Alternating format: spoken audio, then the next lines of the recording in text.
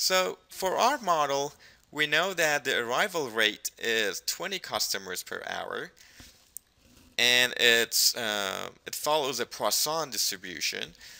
So that tells us that our inter-arrival times are exponentially distributed with mean 3 minutes. So what I'm going to have is to change my um, uh, inter-arrival time to exponential with mean 3 minutes. I also need to uh, specify my service time here, which is triangularly distributed with parameters uh, that are given here. So I can click on the server object and simply uh, modify the, the values here, but I would like to show one other feature of Simio here, which is the expression builder. So uh, the expression builder helps you to type expressions. Um, so let's say I would like to specify the service time of my server. So what I can do, I can simply type random. And as you can see, the expression builder helps me identify uh, related words here. So you can either double click on random and when you click uh, when you uh, type dot here you will see the different options that you have from the random uh, library. So the different uh, distributions distributions that you can use here. So for um, for this model we know that the processing times are triangularly distributed. So I can basically go ahead and uh, either double click on triangular or simply type it here.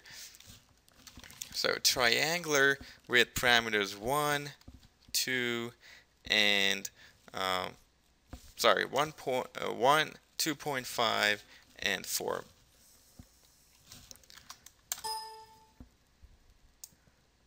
And I selected the expression by mistake. So 1, 2.5, and 4. So uh, as you work with Simio um, in the future you will find the expression builder um, very helpful, especially when you you you don't know the exact expression that you need to type in. So now that we have our um, inter-arrival time and um, service times um, specified, the other thing that we need to specify is basic uh, uh, basically deals with the uh, physical layout of the system. So we know that uh, the distance between the entrance to the counter is 8 meters and the distance between the counter to the exit is 5 meters and we would like to incorporate that in a model. So for our path objects we have basically two options to uh, specify the length. So we can either uh, when you click on the path objects and look at the properties, you will see that you can either draw to scale or if you set this value to false, you can basically um, specify the logical length here. So I'm going to use uh, both approaches here. So for my um, first path that connects my source to my server, I'm going to draw it to scale. So um, basically Simio will consider the physical distance between uh, the, uh, the two nodes here. So when you go to your units, you will see that the unit for length is meters. So each of these um, squares between the, uh, that you see here uh, is basically representative of one meter. So I need eight of these between my um, source and server. So let's see, one, two, three, four, five, six, seven, and 8. 1, 2, 3, 4, 5, 6, 7, 8. So since I've selected uh, the true value for a drawn to scale property, Simio uh, will now know that the distance between my source and my server object is 8 meters. For the uh, second path here, I'm going to use the other option. So I'm going to set the drawn to scale value or property to false and instead set its uh, logical length to 5 meters. One last thing that I need to add to my model is basically this uh, walking speed of my um, customers. So I'm going to uh, click on customer and basically go to its properties and as you can see the first property of my model entity here is its uh, desired speed. So what I'm going to do I'm going to change the default value from 2 to 1 and um, just need to make sure that the units are consistent. So meters per second that's what I want. So now I have basically completed my initial model and I can run it in the interactive mode and watch the model run and um, basically see how entities flow and get processed. In my system.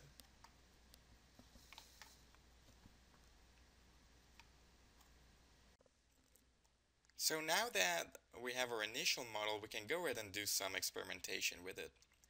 So the first thing that I'm going to do before uh, running my experiment is to set uh, the run configurations.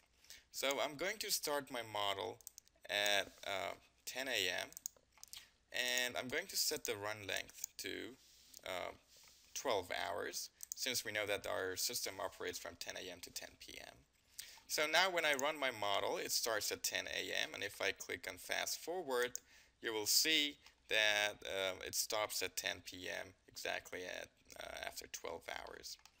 Now I can go to the results tab and see the results of my interactive run.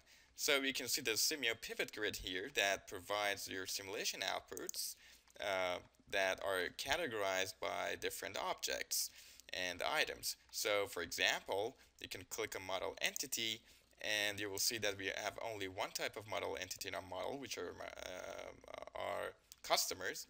And um, you can see that uh, uh, we have the number in system and the time in system. And for the number in system, we can see the average and maximum. And for the time in system, then we can see the average, maximum, and minimum. Um, and of course, for the number in system, since we start with an empty system, the minimum is zero. Um, we can also look at our uh, server objects, and we have only one server object, which is server 1. And if we look at um, the capacity category, and under the data item scheduled utilization, we will see this uh, utilization of our uh, server.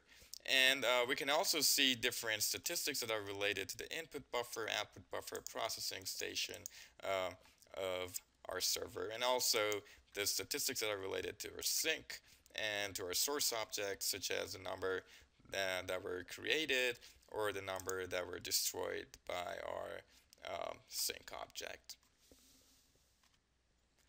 Now, an important thing here is that if I reset this model and go back to my facility view and uh, run my model again, um, I'm going to see the exact same values here uh, for my simulation outputs. And the reason is when you run your model um, in the interactive mode uh, multiple times, you're not basically replicating the model. Um, you're just repeating the exact same scenario, and it's because Simio uses the exact same stream of random numbers to generate your, um, in this case, inter-arrival times and service times. So we know that since we are dealing with random numbers here, one run of the model is not enough to make any decisions. So what we need to do is to replicate our model, and in order to do that in Simio, we need to go to the Project Home ribbon and create a new experiment. Now, um, you can see the design of or properties uh, of your experiment here. You can simply set uh, the replication number here, and I'm gonna select. Uh, I'm gonna set it to 200 as specified, and I'm gonna hit run, and uh, the run is over. So I can now go back to my pivot grid and uh, look at my simulation outputs. Um, what you, uh, one thing that you note here is that I have three more columns here, which gives me the minimum and maximum uh, values across my replications. And also, uh, you can see the half width of the confidence interval over your um, statistics uh, on the third column, which gives you some information about um, how accurate your estimations are.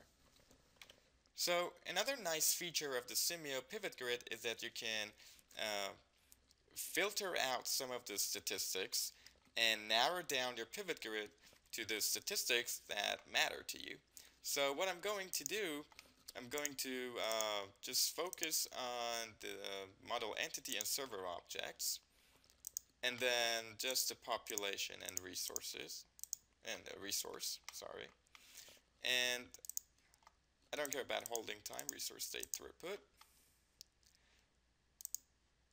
And what I want here is number in system, time in system, and uh, scheduled utilization.